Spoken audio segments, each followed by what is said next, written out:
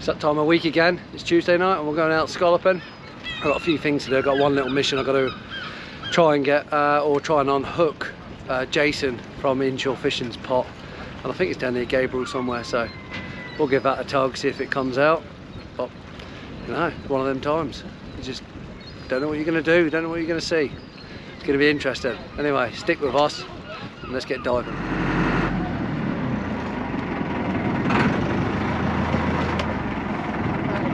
Think they're old scallop shells. Are they frills in there? Frills for the fishermen.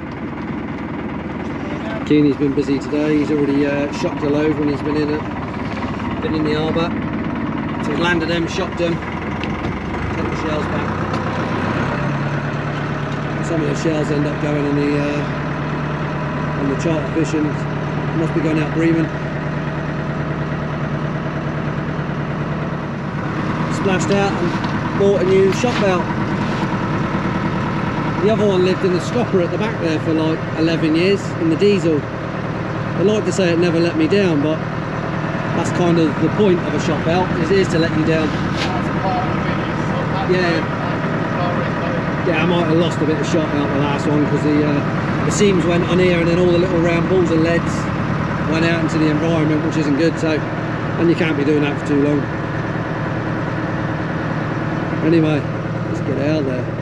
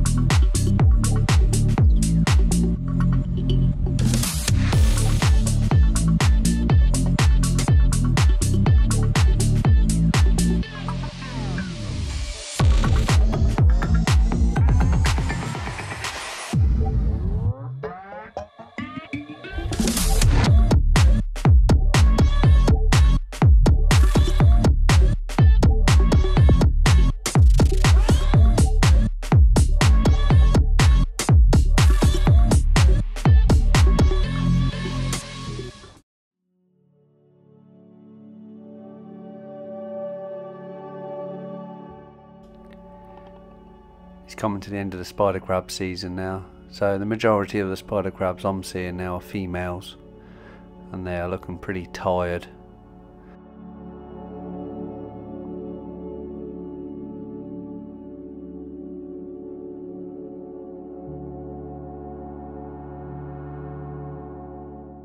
That's a huge lump of Ross coral. Probably one of the biggest I've seen. It's just out on the sand as well. Don't know how that hasn't been damaged and ripped up. So we got our first scallop. Looking nice and clean around here, but very small.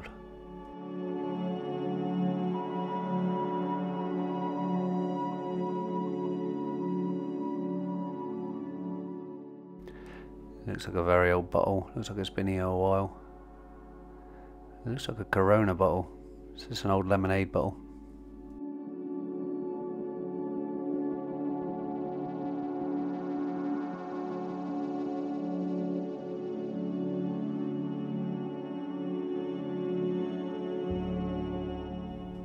Big yellow one is a big boring sponge and there's some more boring sponges.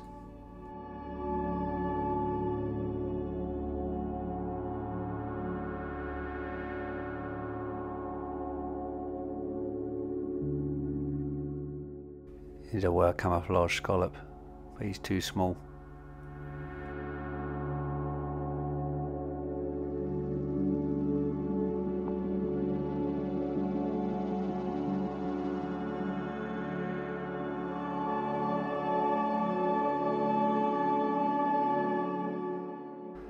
Swimming in a northerly direction. Um, I drop down tide of where the pots are stuck, so I'll get a little bit of dive before I get to them. I just hope I end up seeing them on the way past, not miss him.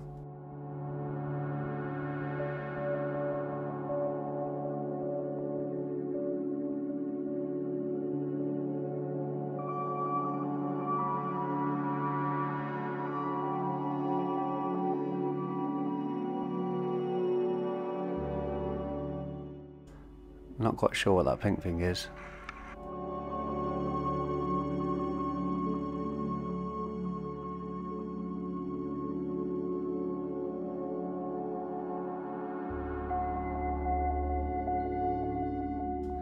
This is some lovely yellow staghorn coral, soft coral. This stuff's everywhere. I got excited when I seen this, because I thought it was a stone cannonball, which would have been the first one I've ever found. I've seen two friends that have got stone cannonballs. I'd love to have one.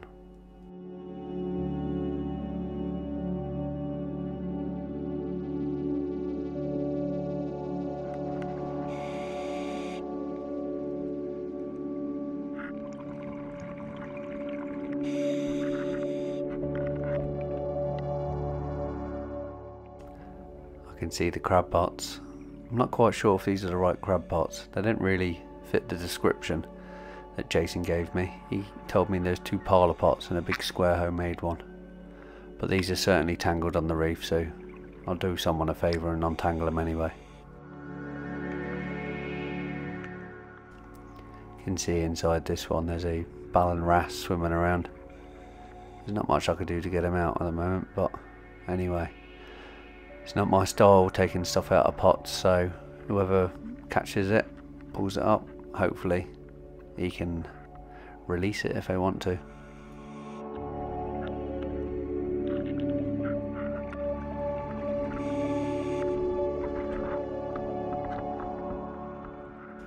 I don't know how, but pot rope always tends to go through little tiny gaps, so as you pull the pot harder it sort of tightens in.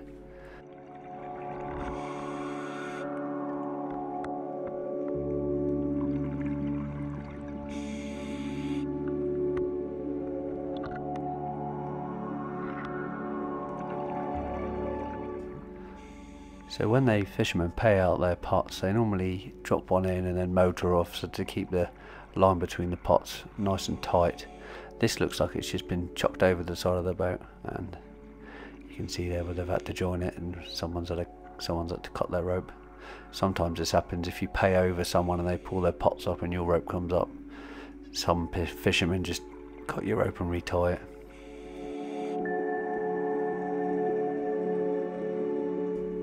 Here we have another female cuckoo wrasse going through the transition. You can just see the colours on its nose changing.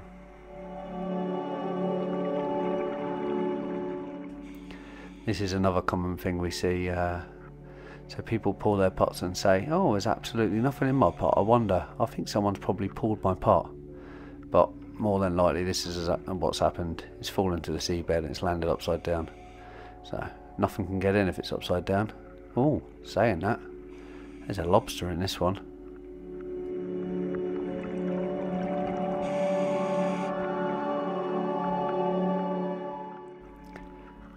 So that pot on the end didn't look like a homemade one.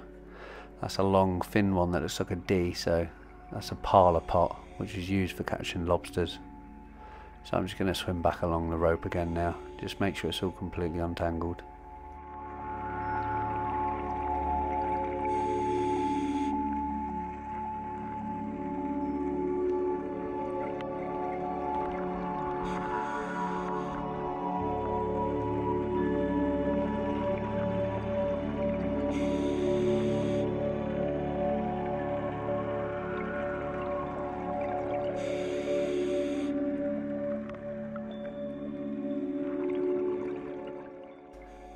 Look at this. There's a lobster. He's just sticking his head out. Um, it might uh, might even go in the pot. But the pot's all jammed up on the reef, so I'd untangle all the rope.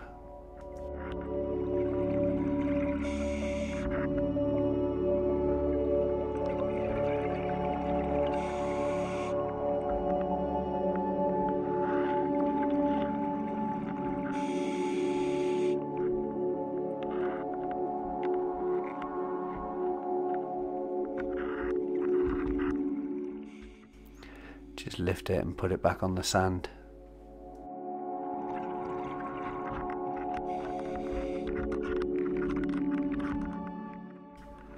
Now down to one last job and now I've got to swim up the cable now. The bit from the buff on the surface that goes down to the first pot is normally referred to as the cable. So I'm going to swim up this 170 bar left. I've got loads. I could do another dive in this tank easy. So now, just go back up this line and make sure it's not tangled on anything.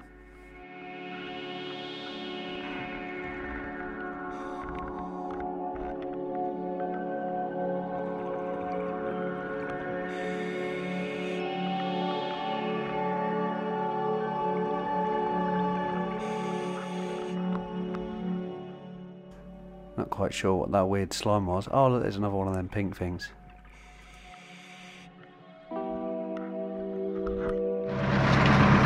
So Matt's just come up now with, I'm guessing, well that was two separate bags because you couldn't fit anything in these other bags.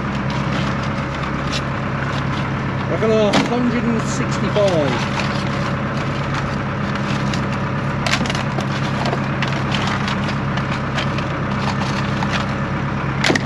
there's 50. Yeah, there's a crate already. I don't know if there's many on the size there that are going to go back. There might be one or two.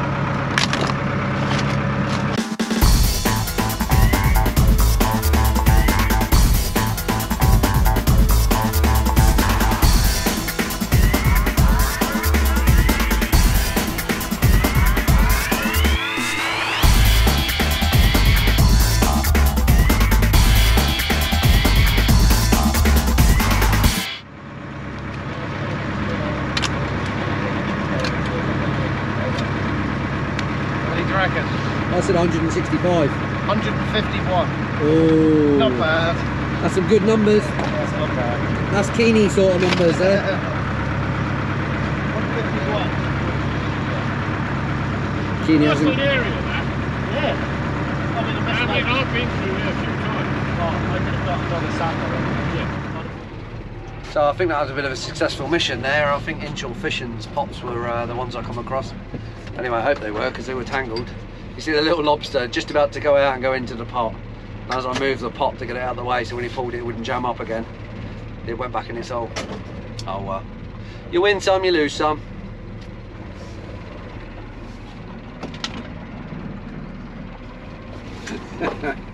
He's got the biggest count, 151. Is that the second highest number record that we've had on the boat? Coming up for my highest score. Yeah. Well, we all know someone that got 152. Molly did. Molly got Molly- quite a lot. Molly, got that one time. eh? Molly had a swollen sack once, yeah. Big old bag full of them. Spilled it all over the deck. Yeah. Good.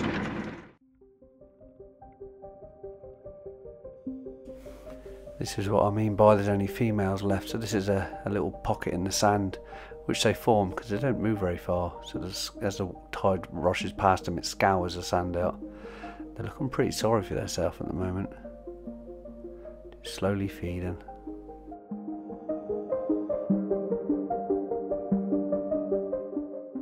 There's a nice selection of cockles or clams in this area. Another group of females. These looking even more sorry as I kick sand in their face. Poor things.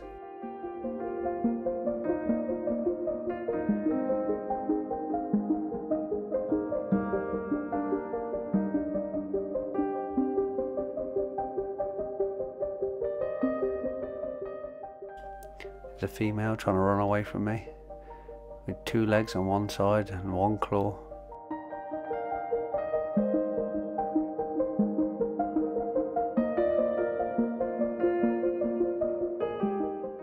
Just small after small. Ah, this one's better. Four or five years old, that one.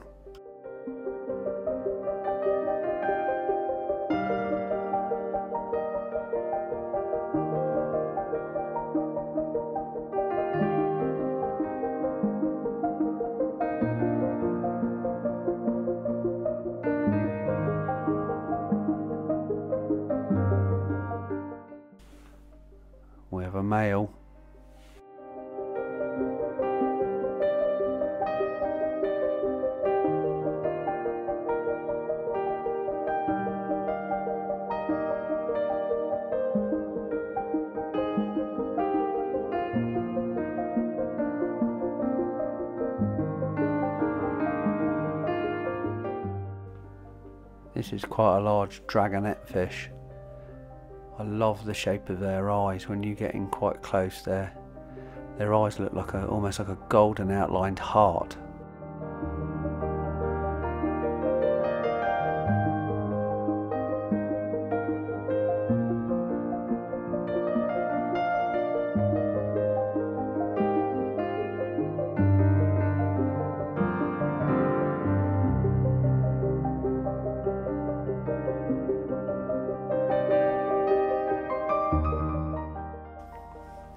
Was uh, kind of hoping not, I wouldn't hit this side of the reef. So this is on the inside of Anfray Reef. It's not very deep, it's about 12 15 meters, and you can see all the kelp. I love how it flaps in the sea. It's almost like a sort of female's hair in the wind.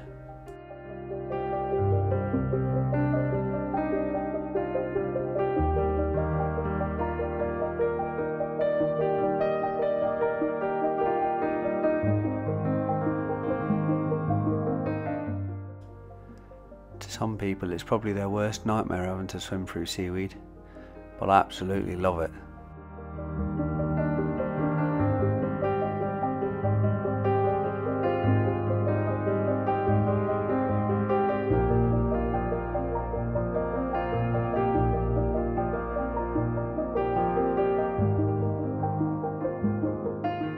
Just as I come out from behind the reef, I look down and see a red mullet. Just get my camera out ready, and it's gone. Ah, that's a shame.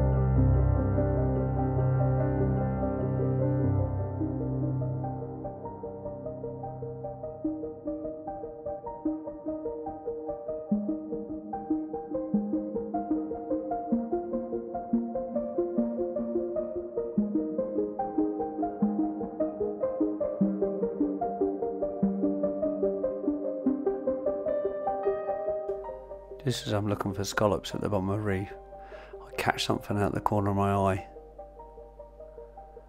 It's a shanker, getting all defensive.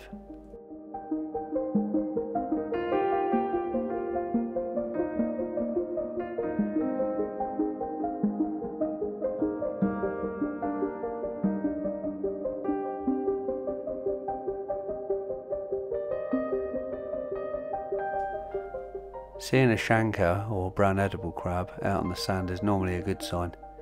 It means it's out hunting and it's not it's not scared of getting uh, eaten because its shell is nice and hardened. So the term you hear when a, a crab is just molted um, is it's called a lantern.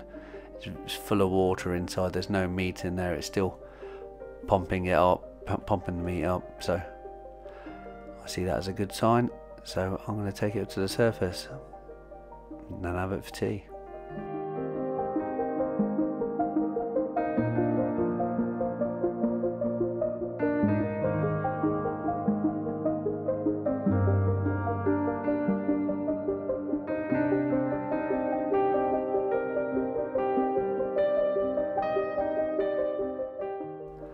I'm in the one more scallop and I'm going up mode at the moment.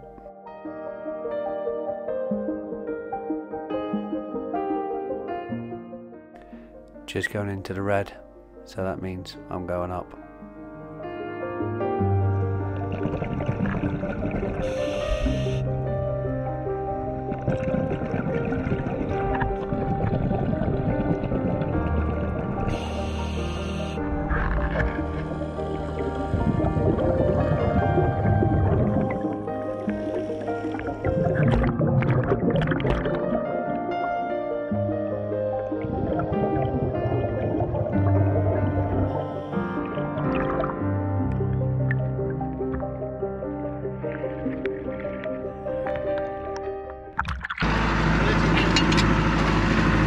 Have a look, see if this crab's any good.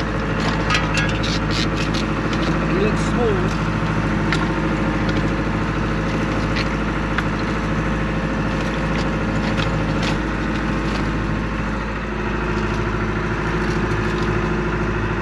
Gonna lose a finger. Yeah, fingers coming up.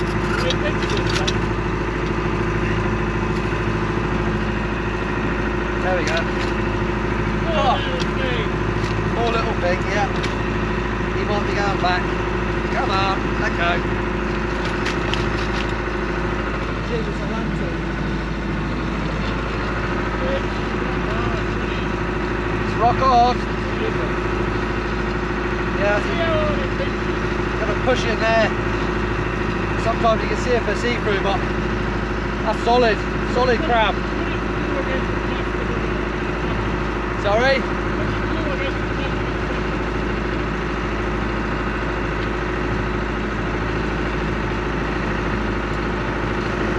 Is he gonna, uh... No, he doesn't want to go for it. How many penises has he got?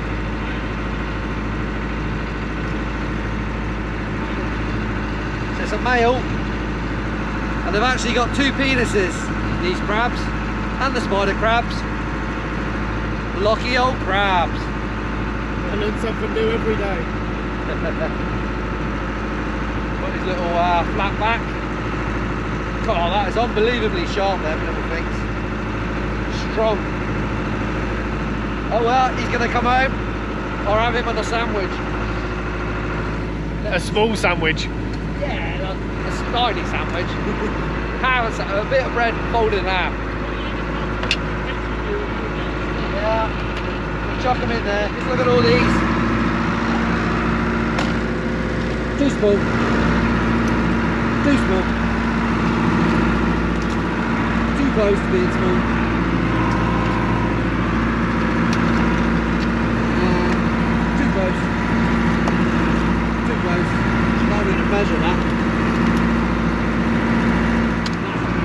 Grand total of nine. Anyway, pays for a bit of for Keeney.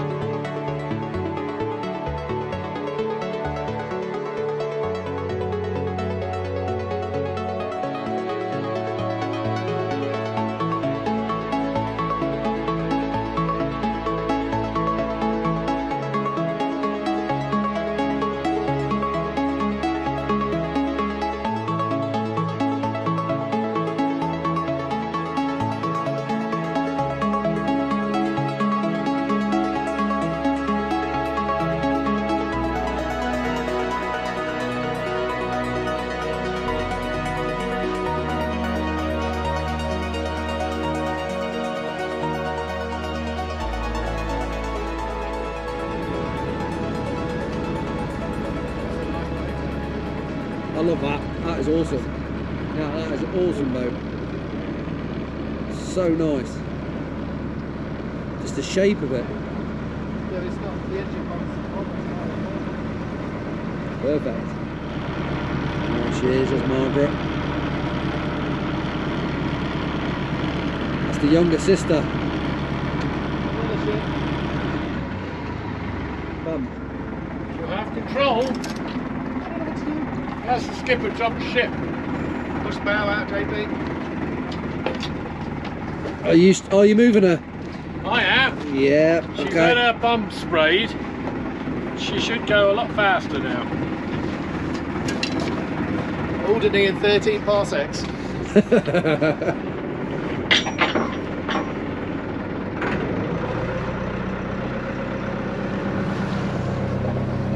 nice legs.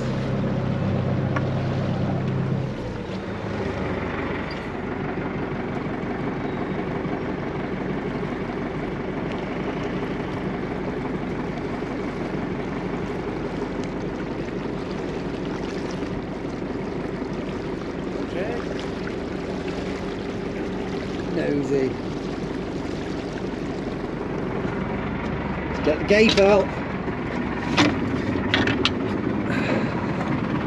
Gaff time.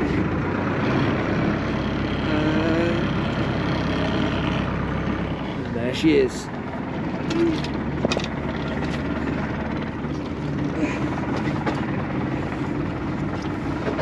Gaff cam.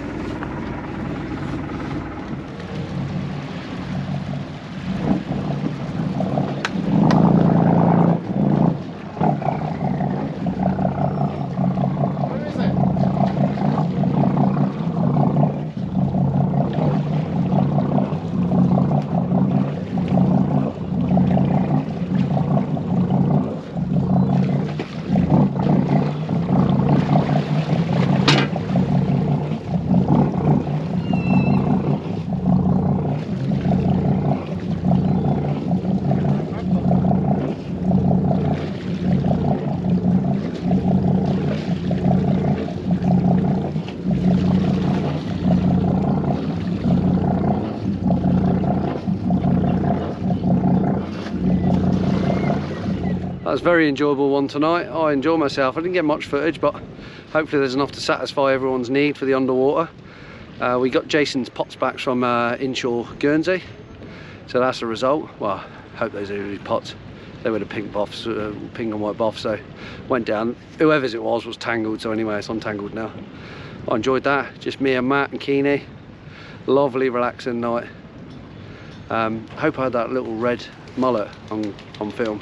As soon as I got my camera in, it seemed to zoom off. But anyway, I enjoyed that. Hope you enjoyed that. And I'll catch you on the next tide.